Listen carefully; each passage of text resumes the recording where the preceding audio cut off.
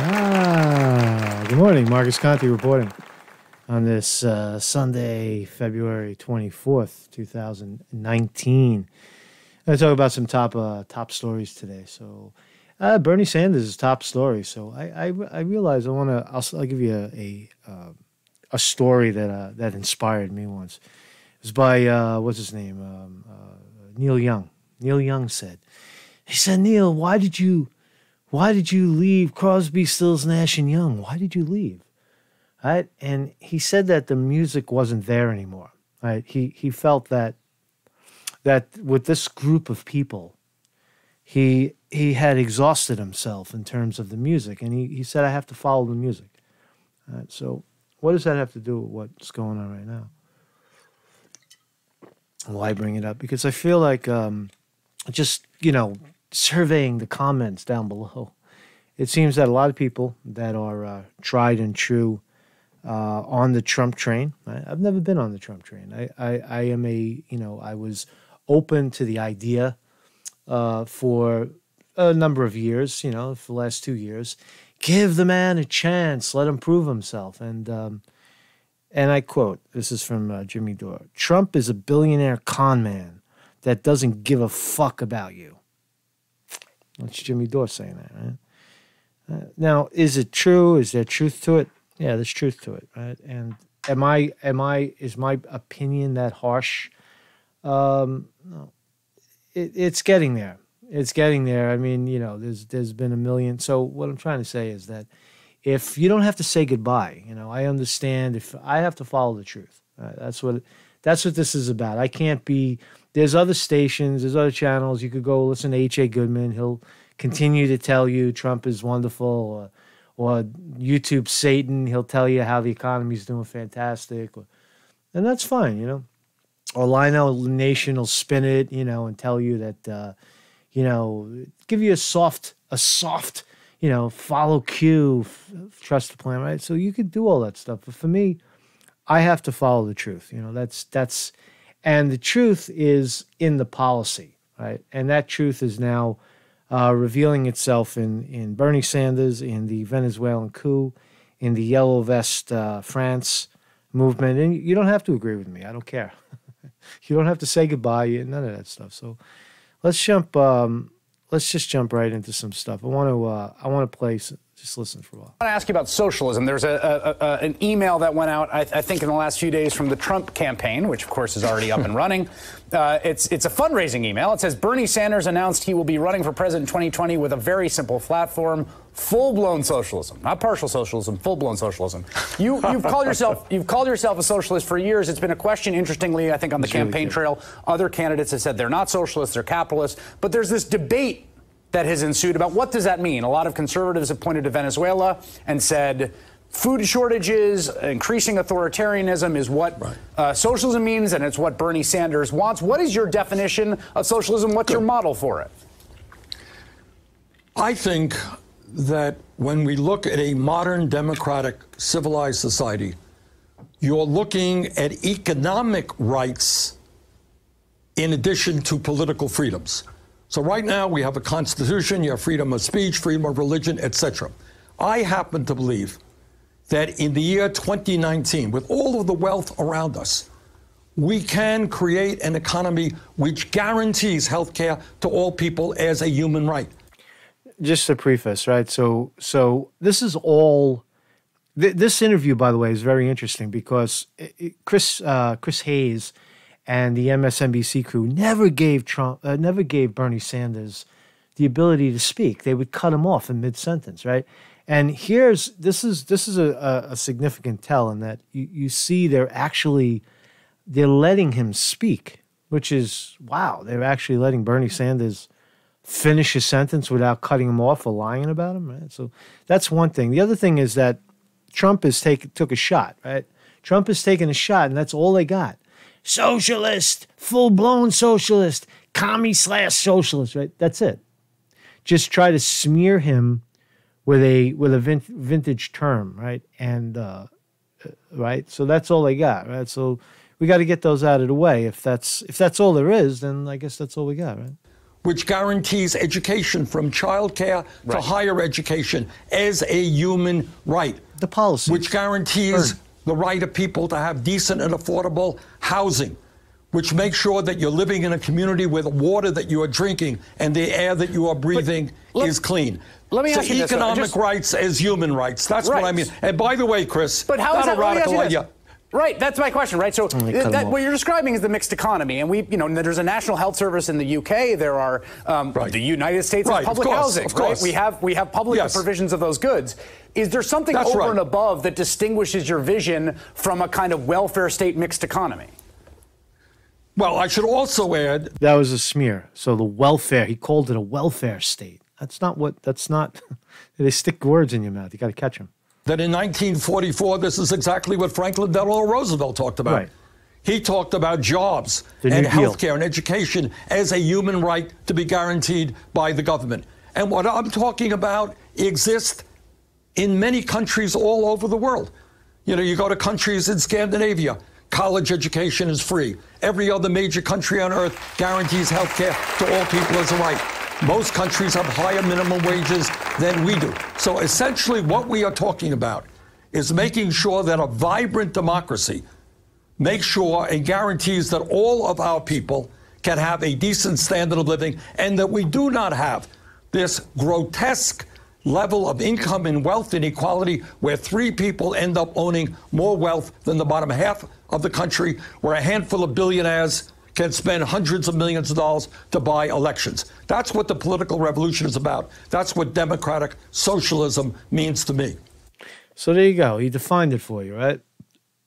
So the other, the, look at the look on on Chris Hayes' face. It's like, oh, fucking what? Right? They're gonna get. They don't know what they're about to get hit with. That's the. They they're starting to realize what they're about to get hit with. The tsunami. The tsunami of of of voices that are um, that uh, uh, support this candidate. Right. That's what they're about to get hit with, and it's going to be big. Right. It's already big. You're already seeing it. You want to see? I'll show you some of the memes. Some of the. Um, some of the let's keep listening. So, so let me return to the Venezuela case because it has this been is, so used by. Uh, so this is really good. Here's where Bernie Sanders now. The smears have been um, uh, abundant, right? There's been. I'll I'll show you the smears after after I play the recording, but um, the you, this this is Bernie Sanders defining his position on Venezuela on national TV. Now it's been spun out of control that he's a Venezuelan supporter. He he he supports the the regime change. Listen, by conservatives in the in the U.S. Uh, on exactly this. You've been critical of the Maduro uh, regime. Uh, I think also critical of some of the steps taken by the Trump administration, sort of ratcheting up pressure. But what is the Bernie Sanders theory of the case? For why Venezuela is the way it is? What went wrong there in what was a, a, an avowedly socialist project?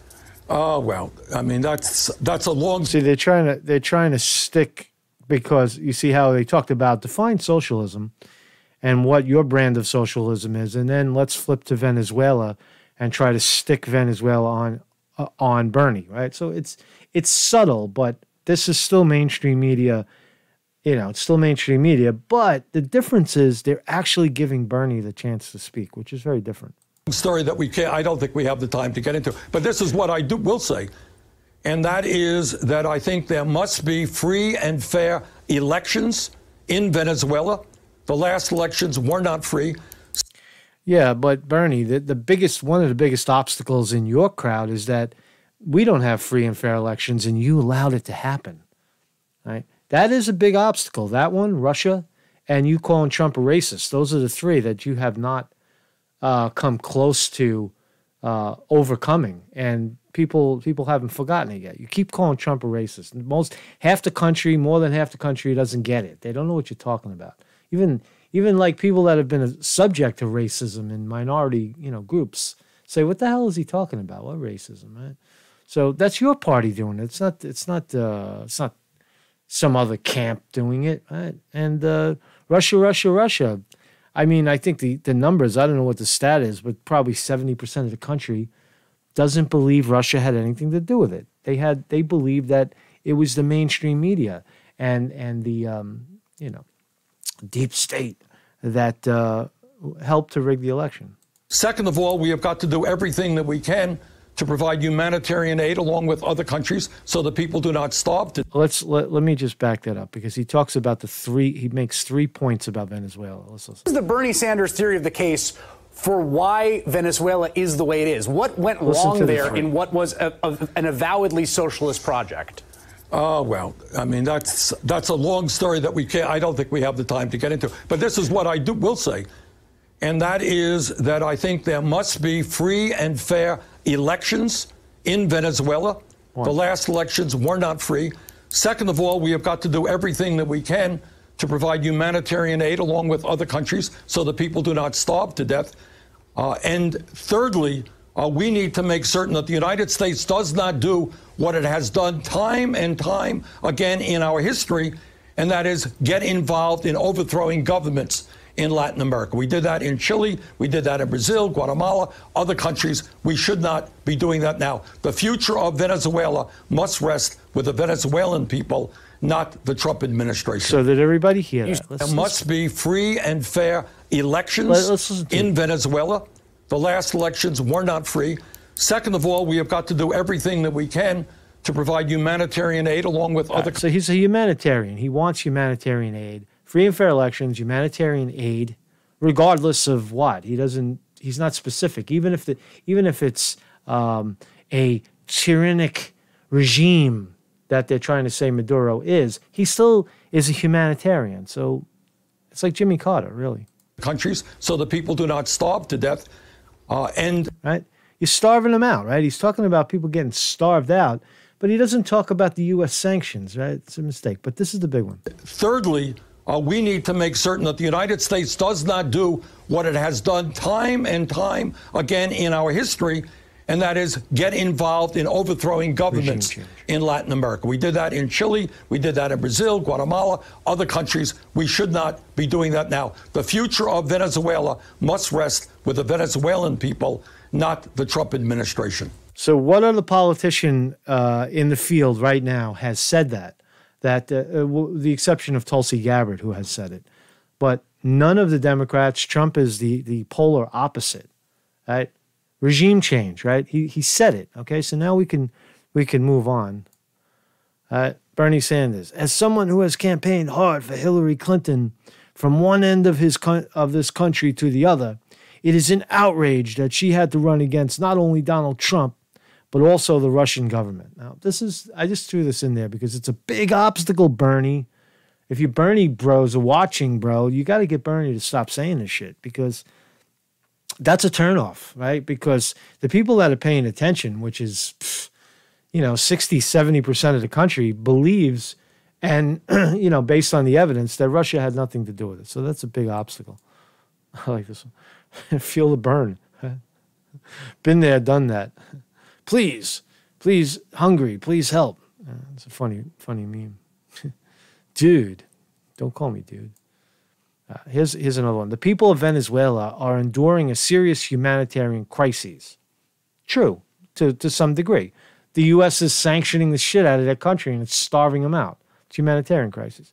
The Maduro government must put the needs of its people first.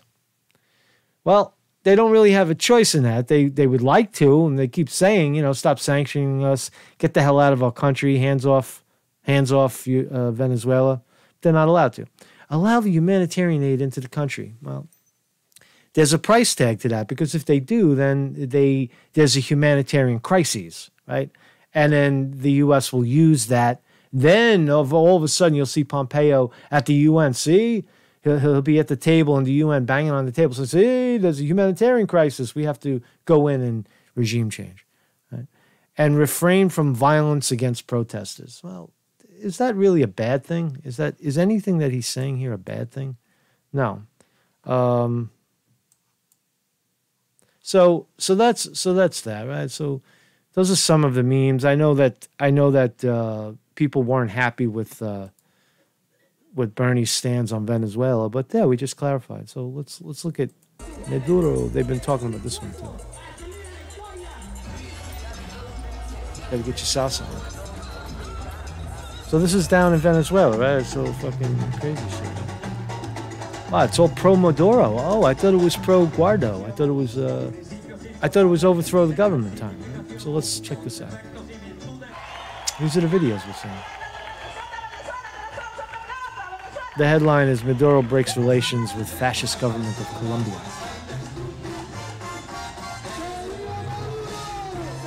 Maduro! Does this make you a commie? A commie? Does it make you a socialist? No. It's a spirited people. No podemos seguir soportando que se preste el territorio de Colombia para una agresión contra Venezuela. Por eso he decidido romper Trump, he's a big faggot American, big squarehead white con el gobierno American. Fuck him. Colombia Y todos sus embajadores. Viva Venezuela. Fuck Trump. En 24 horas de Venezuela. Fuera de aquí la oligarquía. Fuera la oligarquía de aquí. So, Ya basta ya. So they're they're a spirited bunch, man. Right? I'm a, oh, I'm a commie, right? I'm gonna get a fucking shirt, man. That's my new shirt, man. Commie, I'm a commie, because because I support uh, free and fair elections, and I, I support people's right to to choose. Look, so much so, I was down there yesterday. Right? Here's in the U.S., right? Where's the Where's the Guardo? Where's Guardo regime? This is all from Maduro. I saw it with my own eyes. Right? That's me, evidence. I was there. I saw it in New York. Right? Pro Venezuela, pro support for Maduro. Get your humanitarian aid to Haiti. Get your humanitarian aid to Hands off Venezuela. There's a fascist regime in Honduras. There's a there's a repressive. Right? So, evidence. So, that's Venezuela. That's Bernie Sanders on Venezuela. And and the yellow vest, why is it consistent? Why is the yellow vest movement consistent? Because it's consistent with ousting oligarchy to deflate the billionaires, break up the banks, a living wage. Uh, it's just it's just common sense. It's not it's not it's not the the the classic sense of a socialist nation. It's a sense of break up the monopolies, right? People that they want they want this idea of a pure capitalist society where people, you know, it's the, again I'll, the analogy, right? It's the banker. They're sitting at the table. You got the banker, you've got the the worker, and you've got the immigrant, right? And the banker, and there's and there's twenty donuts on the table, right? And the banker takes nineteen donuts for himself, and then he turns to the worker and says, "You better grab that last donut before the before the immigrant gets it." Right? That's the state of it. If you if you like that, then this isn't your channel. If you're if you're okay with that, right? If you're okay with fighting the immigrant for for the last donut, you know, then you don't have to say goodbye, man. So here's Venezuela.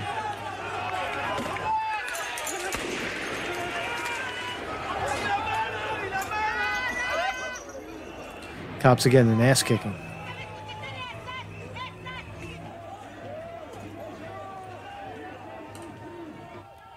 I'll just say about this: when you see um, when you see uh, gas, you know, bomb like they're throwing smoke bombs. That's a that's a chemical attack on your own people. Right? That's you know, it's using it's using excessive violence and chemical warfare on on pedestrians. That's what it is. Evidence.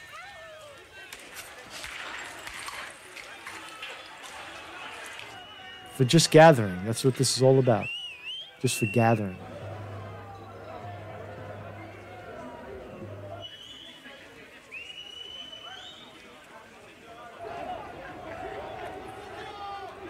Let's see, I got a bunch of them here. Some other clips. So it's still going on, is my point, right?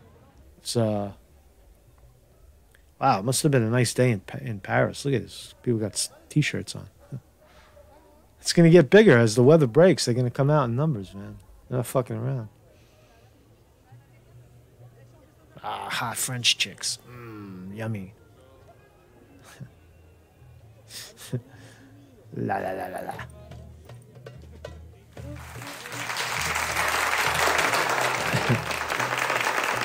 Hot French chicks. Hot French chicks. Oh. Gilets jaunes. What else? So we got some other.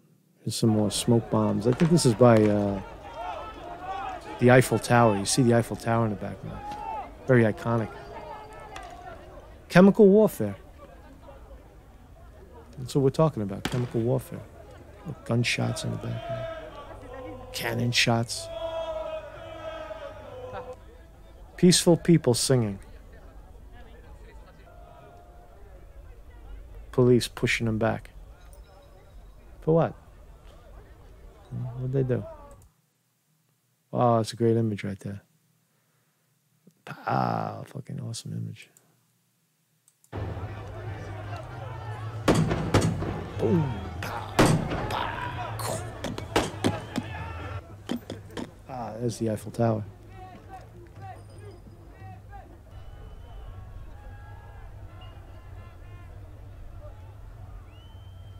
Revolution, right? It's consistent. Political revolution in America. People fighting to keep out the oligarchy in Venezuela. That's, that's the shot right there. Man. Love that shot. Look at that, man. Viva! Viva Paris. Well, who would have ever known, right? Eiffel Tower. gonna take it, gonna knock it down, man.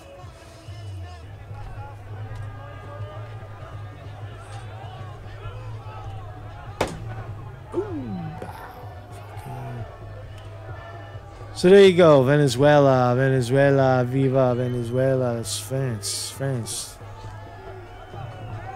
French, are- French are not giving in. Week 15. So, ba boom, ba bang, pow. So Marcus Conte reporting on this stuff. So you know, you see the common thread, right? Am I um, am I sewing? Am I sewing things that shouldn't connect? Well, I don't know. I think so. I don't think so, man. So you know, uh, also about the the comments down below, you can see a lot of trolls. This is this is uh, normal. I don't trust any of the numbers, the subscription numbers, or any of that shit. Just it's about the truth, right? And and if people want to come on here and say socialist, socialist fifty times, right, and say I'm going to quit. I'm going to quit your station if you say if you downplay Trump and say say Bernie socialist commie should be the president. Right, well, then, there you go, man. Who would who's who has the energy to keep saying the same nonsense over and over again? Let's just look at the facts. I gave you the facts, right? You see Bernie stands on on the issues. You see, right now again, he's he's he's reluctant to say that Russia was really not the cause of his being his election being stolen from him. Right?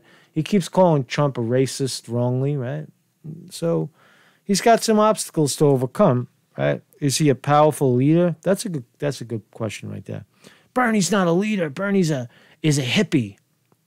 Uh, maybe we don't need a. Why do we do we need an author, authoritarian Trump to muscle his way through Congress? Rather, what happened to inspiration? What happened to inspiring, you know, the electorate, inspiring the people? Let the people be the power. Let the people, the voice of the people, uh, you know, steer our great nation. Right? Why do we need one brute? You know, I mean, Trump was right for the times. Also, one-term presidents. I like that. I'm a fan of one-term presidents. Let Trump fucking okay. Look, you you turned out to be impotent. You thought you were gonna. You were just like Obama, egomaniac. You came in there. You thought you were gonna change everything. The deep state is gonna bow to your feet. And what happened? You wound up hiring them as your as your cabinet, right? No wall, no no locker up, no nothing, man. You, you didn't do anything really. You made some strides with North Korea. You did some good things, but the economy's still a shithole. The, there's the, the income and wealth inequality is is is uh, bigger than ever. So step aside now. Let somebody else get in there, right? And if Sanders, okay, he's too old, right? Well, Trump Trump seventy four.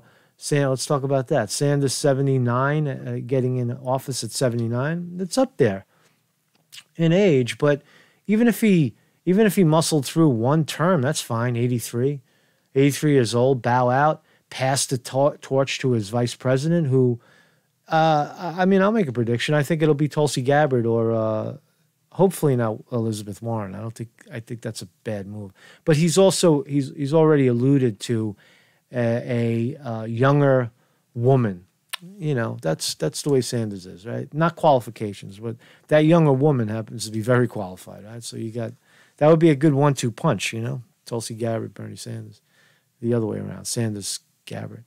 So um, you know, so that's my uh, that's my spin on that. And um, you know, if you if you decide to uh, to to leave this channel, I wish you well, man. I wish you I wish you well in your pursuit of truth and justice and clarity. And um, I hope that I was some I was part of um, that clarity as a uh, not a Trump apologist, but certainly someone who gave Trump space.